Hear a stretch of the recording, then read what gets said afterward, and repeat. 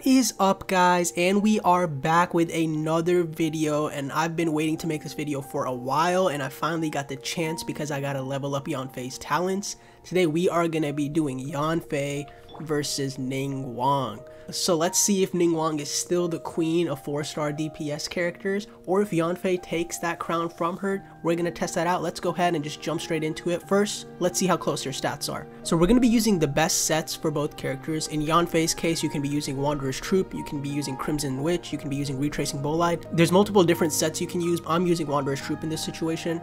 And with Wanderer's Troop, I have 1640 attack and 167% crit damage. And the weapon I'm going to be running on both characters is going to be the Lost Prayer. And I'm going to keep their stats as close as possible. That way we get a good idea of how much damage each is doing at an equal playing field. So let's go ahead and take a look at Ningguang. Okay, so my Ningguang has 1954 attack and she has 170% crit damage. So the crit damage is only 3% higher, not even, maybe 2.5% higher and the attack is a lot higher. And you guys are probably already typing in the comments like oh my god the attack is higher. This isn't a fair test. Well hear me out before you exit out of the video. Let me explain something real quick. And the reason that is is because I'm using the two-piece Glad set and two-piece Archaic set which is one of the best sets for Ningguang you can also run two-piece Archaic and two-piece Noblesse I'm just running Glad in this situation. And just to prove to you guys their base attack is as close as possible.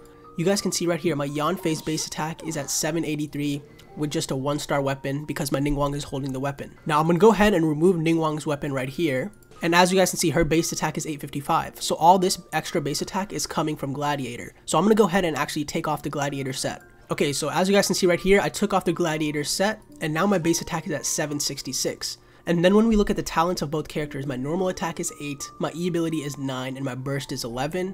And Ningguang is the exact same thing, my normal attack is 8, my Jade Screen is 9, and my burst is also 11. So they basically have identical stats as well as identical talents. So this is going to be the fairest test you can do. Let's go ahead and just jump into the actual testing. Okay, so, so the things we're going to be looking at are going to be the normal and charge attacks, their E ability and their burst, as well as their full combo and how much DPS each has. And then we're going to go into an actual boss battle and see how they both do.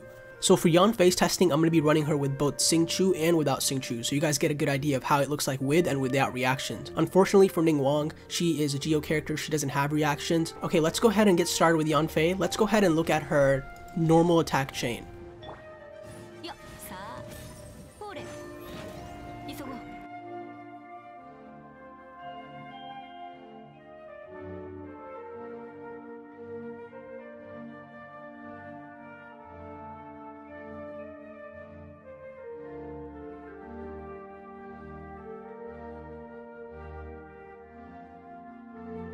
Okay, so now that we saw Yanfei's auto attack chain with and without Vaporize, let's go ahead and take a look at Ningguang's and then compare the DPS.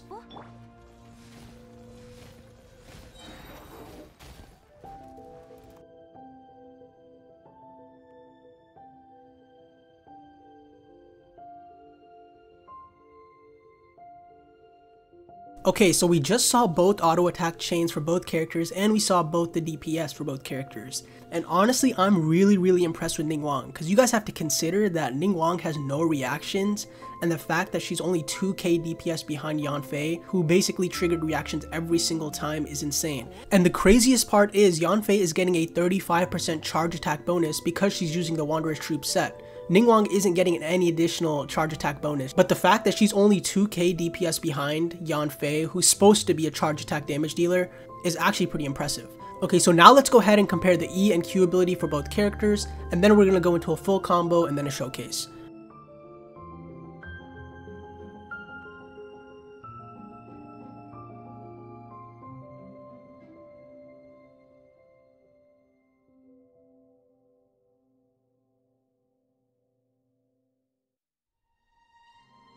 Okay guys, do we honestly need to test any further? I think it's pretty clear who does more damage compared to Ningguang and Yanfei. I know up to this point, before we tested the burst, it seemed pretty close, you could even argue that Yanfei was doing more damage, but when it comes to the burst, Ningguang absolutely destroys Yanfei. She is doing 88,000 damage with just her burst alone. Just to put that in perspective, how insane that actually is, if we add up all of Yanfei's things that we tested and she vaporized on, it would total up to 81,000. So that includes her entire normal and charge attack chain, and her E ability, and her burst. All that together equals 81,000. Ningguang with her burst by itself hits 88,000. And some of you might be confused, what does it mean by screen and no screen? So if you guys don't know about Ningguang or aren't familiar with Ningguang, so Ningguang herself shoots 6 Star Jades, and then if she has her screen up, it shoots an additional 6. But we're still going to look at Yanfei and Ningguang's entire combo, because there are some things included in both of their kits that boost their damage. So starting with Yanfei, the normal combo you want to do is start off with Xingqiu and apply Hydro on the enemy with your E and Q, and then immediately after that you're going to use your Burst and your E ability. And then what that does is, if you guys don't know, Yanfei's Burst actually increases her charge attack damage and it gives you Scarlet Seals. And at C6 you get 4 Scarlet Seals compared to 3, which you would normally. So once you do your Burst and E ability, you're immediately going to get 4 Scarlet Seals. Then you do your charge attack, which is going to be boosted by your Q, and it's going to be boosted because you have 4 Scarlet Seals. And then you do your normal auto attack chain. But this time when you're doing your normal auto attack chain, instead of having 3 Scarlet Seals, you'll have 4 because you get 1 every second. And another important thing for Yanfei's combo is after she uses that initial charge attack, she's going to be getting a 20% pyro damage bonus because she's going to have 4 seals and then for each seal she's going to have 5% pyro damage bonus. And this is actually her passive talent. So we're going to go ahead and see what that looks like and then I'm going to go ahead and calculate the damage for you guys and put it up on screen and we're going to see what that total DPS is like for Yanfei's entire combo.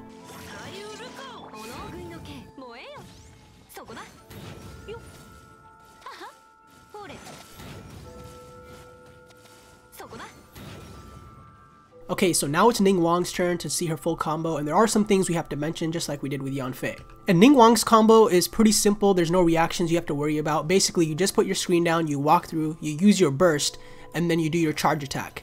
And then you just put another screen down.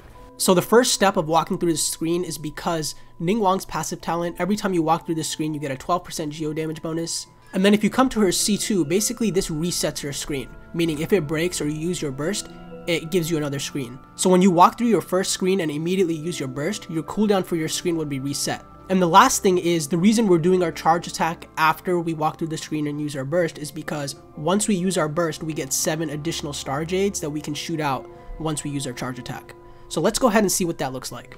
Also, when you guys see the slow-mo replay and you guys are wondering, wait, some of these numbers aren't crits, are you counting that? So don't worry about that because you guys are only seeing one replay. I've done this over and over and over. I'm just not including every single clip because it's just going to take too long. But in my calculations, when you guys see the full damage number, that includes every single attack critting.